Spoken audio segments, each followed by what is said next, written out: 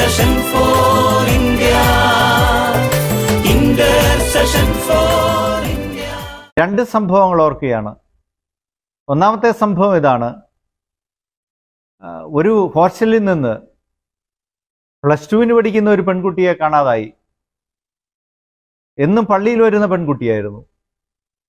പക്ഷേ പരീക്ഷയിൽ എവിടെയോ മാർക്ക് കുറഞ്ഞതിന്റെ ഉത്കണ്ഠയിൽ മാതാപിതാക്കൾ വിളിക്കുമ്പോൾ ഫോൺ എടുക്കുന്നില്ല ഫോൺ സ്വിച്ച് ഓഫ് ആണ്. ആകുലതയോടെ ഒരു ഹോസ്റ്റൽ വാർഡനോട് വിളിച്ച് കാര്യങ്ങൾ പറയുന്നു. ഹോസ്റ്റൽ വാർഡനും അന്വേഷിച്ചിട്ട് കാണുന്നില്ല. പോലീസിൽ പരാതിപ്പെട്ടു. എല്ലാവരും കൂടെ അന്വേഷിക്കുന്നതിന്റെ ഇടയ്ക്ക് പോലീസ് ഉദ്യോഗസ്ഥൻ പറയുന്നു നമുക്ക് പള്ളിയിൽ എവിടെയെങ്കിലും കാണുമോ എന്ന് അന്വേഷിച്ചാലോ?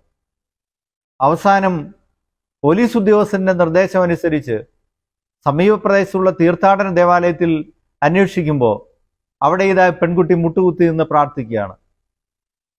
പതിവായി പള്ളിയിൽ പോകുന്ന കുട്ടികൾ ജീവിതത്തിന്റെ ഏത് ദുസ്സഹാവസ്ഥയിൽ പോലും ഒരു പരിധിയിലപ്പുറത്തേക്ക് പോവില്ല. അവർ ദേവാലയത്തിൽ തന്നെ അഭയം തേടും പ്രാർത്ഥനയുടെ സങ്കേതങ്ങളിൽ അവർ മുട്ടുകുത്തും എന്ന് ഈ സുവിശേഷ ഭാഗം നമ്മളോട് പറഞ്ഞു തരുന്നുണ്ട്. വേറൊരു സംഭവം ഓർക്കുന്ന ഇതാണ്. അന്യമതസ്ഥനായ ഒരു കുട്ടിയാണ്.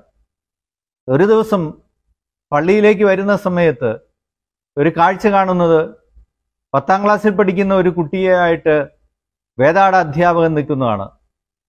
രാത്രിയിൽ എന്തോ കാര്യത്തിന് ആ വേദപാഠ അധ്യാപകൻ വന്നതായിരുന്നു. അപ്പോൾ അപരിചിതമായ രീതിയിൽ ഒരു കുട്ടി സ്പോർട്സിന്റെ വസ്ത്രങ്ങൾ അണിഞ്ഞ് പരിശുദ്ധ അമ്മയുടെ സവിധത്തിൽ നിൽക്കുന്നത് കാണുന്നു. അവിടെ ചെന്ന് അന്വേഷിക്കുമ്പോൾ ആ കുട്ടി പറയുന്നു എനിക്കൊന്ന് കുമ്പസാരിക്കണം. പക്ഷേ ആ കുട്ടിയെ നിരീക്ഷിച്ച അധ്യാപന മനസ്സിലായി. അവൻ ക്രൈസ്തവനല്ല ഹൈന്ദവ വിശ്വാസം. അവന്റെ കയ്യിൽ ചരടുണ്ട്. ചോദിച്ചു നീ നീ എങ്ങനെയാണ് കുമ്പസാരിക്കുന്നത്? നീ ഒരു ഹിന്ദു ആണെന്ന് തോന്നുന്നു. അപ്പോൾ അവൻ പറഞ്ഞു അതെ പക്ഷേ എനിക്ക് കുമ്പസാരിക്കണം. അവസാനം അന്വേഷിച്ച് വരുമ്പോഴാണ് അമ്മയോട് പിണങ്ങി. രാത്രിയിൽ അവൻ ഇറങ്ങിപ്പോന്നതാണ്. ഇപ്പോൾ അകലെ നിന്നാണ് അവൻ വരുന്നത്. എങ്ങനെ ഈ പള്ളിയിലെത്തി എന്ന് ചോദിക്കുമ്പോൾ അവൻ പറയുന്നു അവൻ മത്സരത്തിന് സ്പോർട്സുകാരനാണ് അവൻ. മത്സരത്തിന് വന്ന സമയങ്ങളിലൊക്കെ ഈ പള്ളിയിൽ കയറി പ്രാർത്ഥിച്ചിരുന്നു. അവസാനം അവന്റെ സ്വന്തം അമ്മയോട് അവൻ പിണങ്ങി കലകിച്ചു വരുമ്പോൾ ആ ചെറുപ്പമുള്ള മനസ്സിന് തോന്നിയത് മറ്റൊരമ്മയുടെ അടുത്ത് പരിശുദ്ധ അമ്മയുടെ അടുത്ത് വരാമെന്നാണ്. അവന് വേറെ എങ്ങോട്ടും പോകാനായിട്ട് തോന്നിയില്ല.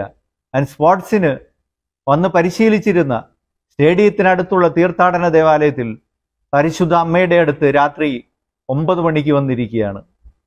അവസാനം എല്ലാവരും കൂടെ ഒരുമിച്ച് വൈദികരെല്ലാം കൂടെ ഒരുമിച്ച് വന്ന് സ്നേഹപൂർവം അവനോട് പെരുമാറി അതിനുവേണ്ട ഭക്ഷണവും വെള്ളവും എല്ലാം കൊടുത്ത് അവനൊന്നും കഴിച്ചിരുന്നില്ല. അവന്റെ അമ്മയെ വിളിക്കുമ്പോൾ അമ്മ ഏങ്ങലടിച്ച് കരയുകയാണ് അമ്മയും എല്ലാവരും കൂടെ കൂടി താമസിച്ച് അല്പം താമസിച്ച് അകലെന്ന് വരണമല്ലോ. താമസിച്ചെത്തുമ്പോൾ ഈ കുട്ടി കരയുകയാണ്. അമ്മയോട് മാപ്പൊഴിച്ച് സ്നേഹബദ്ധ ബദ്ധമായ ഹൃദയത്തോടു കൂടി ബന്ധുക്കളും എല്ലാം തിരിച്ചു പോകുന്നു.